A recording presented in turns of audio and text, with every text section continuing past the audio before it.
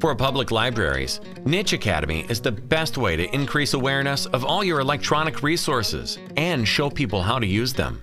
A Niche Academy subscription gives you access to a ready-to-use collection of professional, quality tutorials introducing library e-resources.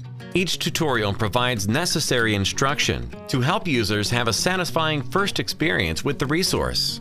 Widgets like carousels, images, buttons, and icons can be used to embed these tutorials seamlessly into your own website. If you want to raise patron awareness of your e-resources, it really helps for your staff to become more comfortable using them.